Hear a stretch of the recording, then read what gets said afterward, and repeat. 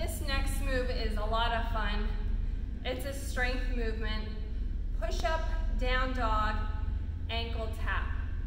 So option one, we're gonna do the wide push up on our knees. Wide push up shoulders, back, pressing through the palms.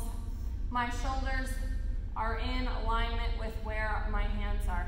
If your body is like this, your shoulders are out of alignment, it's gonna cause strain on your shoulders. So you wanna make sure the shoulders are stacked. Pushing into our push-up, going back into our down dog, coming onto our toes, pressing our heels towards the floor.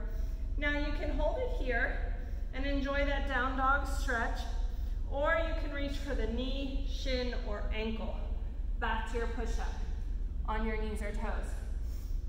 The further you reach on your leg down towards your ankle, the better stretch you're gonna get from that movement.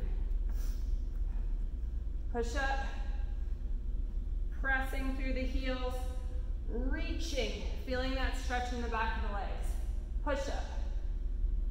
Down dog stretch, enjoy it. Reach for that knee, shin, or